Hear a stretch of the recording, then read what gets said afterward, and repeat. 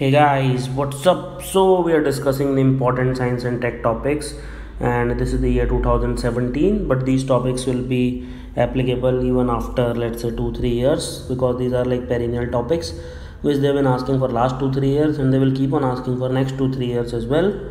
So, let's get started. First of all, DNA fingerprinting. Why do we need it? What is the phenomenon? How does it work? Everything which you need to know about DNA fingerprinting we will cover so DNA fingerprinting or profiling is basically the process of determining an individual's DNA characteristics which is called a DNA profile which is as unique to individual as our fingerprints. So like fingerprints cannot be same in two individuals. Similarly DNA cannot be same in two individuals exception is monozygotic twins so it is usually uh, done in criminal investigation. However it can also be done to identify the paternity. For example it is very clear who is the mother of the baby because they come out of the mother. But it is very difficult to establish the paternity and uh, there are a lot of issues in that. But uh, if you have father's dna then it is easy to identify whether the said person is father or not.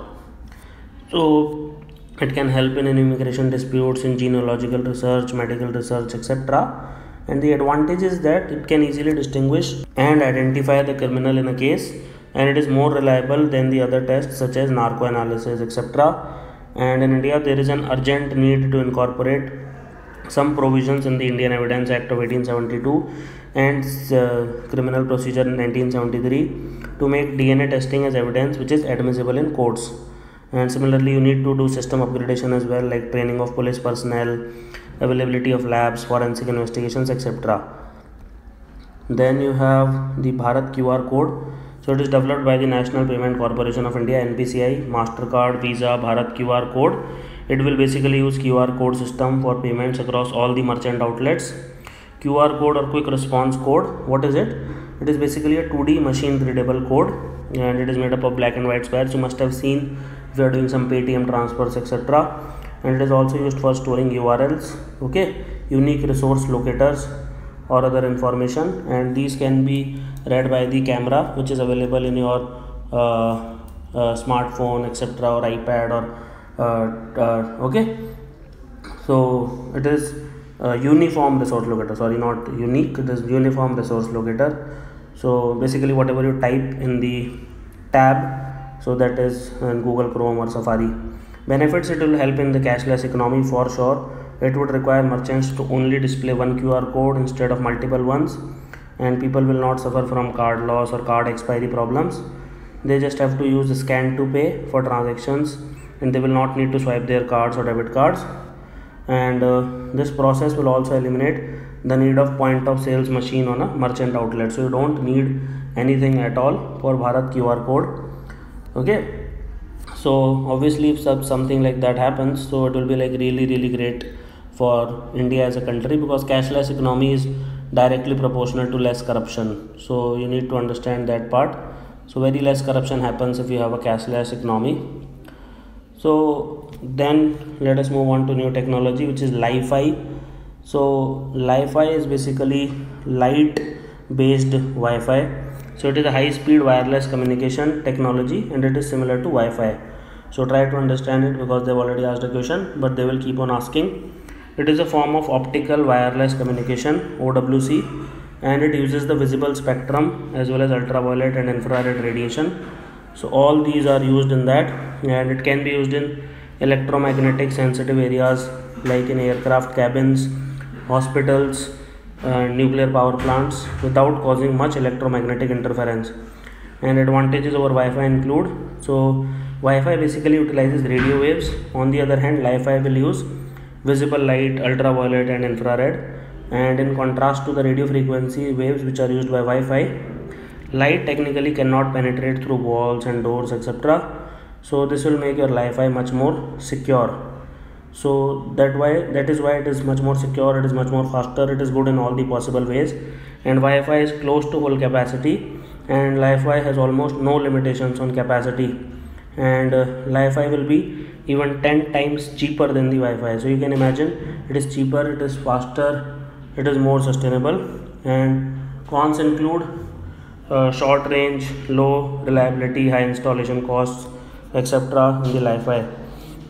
Then gelator is a compound which is in powder form and it has the capability to coagulate oil from an oil and water mixture and basically scientists of Indian Institute of Science Education and Research Trivandrum they used glucose as a starting material and by conducting various chemical reactions they finally developed gelators so what gelator can do is it can selectively congeal oil including crude oil from an oil water mixture. So just remember it is a compound which is technically in powder form and it has the capability to separate oil from an oil mixture and uh, so it will really help you in a lot of things. And uh, it is developed by Indian Institute of Science Education Research Trivandrum. So that will also help it.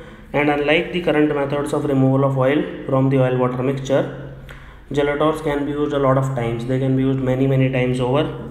However if they are used for extracting crude oil from spill it cannot be reused. So try to remember these points as it will help you a lot then you have cold atom laboratory and Bose-Einstein condensate. So you have like uh, solid liquid gas plasma. And the fifth state of matter is Bose-Einstein condensate which is very very fragile. And cold atom laboratory is an instrument of NASA that has been designed to be installed in the International Space Station. So international space station is an object that flies in the low earth orbit. And you can see it passing over india also. You just have to go to nasa's website achieving very very low temperature is a prerequisite to study ultra cold gases and uh, it is called as Bose-Einstein condensate. It is also called as the fifth state of matter. Now Earth's gravity will pull the atoms of these gases. Therefore, the cold atom laboratory is being installed in the International Space Station. And in the state of Bose-Einstein condensate, the rules of physics they change. Quantum physics begins to take over, and matter can be observed behaving less like particles and more like waves. Very very important concept. And rows of atoms they move in concert with one another as if they are riding a moving fabric and these waveforms have never been seen at temperature as low as what cal will achieve and it will give us insights into the gravity dark energy and it can help us in improving technologies including sensors quantum computers atomic clocks all these are used in spacecraft navigation. Finally you have nasa's europa clipper mission so it is nasa's upcoming mission to investigate the habitability of jupiter's icy moon europa. And it has long been a higher priority for exploration because it holds a salty liquid water ocean beneath its icy crust. So we think there can be life here. So ultimate aim of europa clipper is to determine if it is habitable possesses all three of the ingredients necessary for life liquid water chemical ingredients energy sources sufficient to enable biology. And mission is being planned for the launch in 2020s and it will arrive in the jupiter after a journey of several years. So thank you for watching this lesson